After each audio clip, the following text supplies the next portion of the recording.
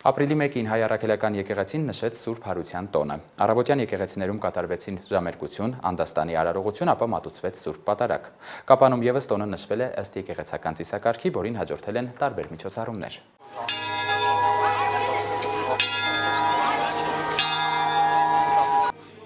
Զատկի տոնին ինչպես հայկն է պատրաստվել էին նաև World Vision Հայաստանի Սյունիքի երիտասարդական ակումբի անդամները։ Մտածել էին ինչպես գրավել երեխաներին։ Ձվի ու զատկի տեսքով լուսանկարվելու հնարավորություն էին ստեղծել, իսկ թաքցված ձու գտնողի համար մրցանակ նախատեսել։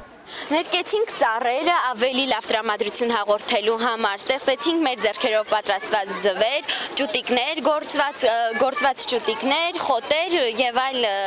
ձեռքեր տոնը խորհրդանշող իրեր։ Ոմանք լուսանկարվելով էին զբաղված, իսկ քիչ հեռվում գտնվող երազանքների ծառը արդեն հասցրել էր զարդարվել ամենատարբեր ցանկություններով։ Ցանկանում եմ լինի խաղաղություն մեր երկրում, որ միշտ նշենք մեր սուրբ զատիկը,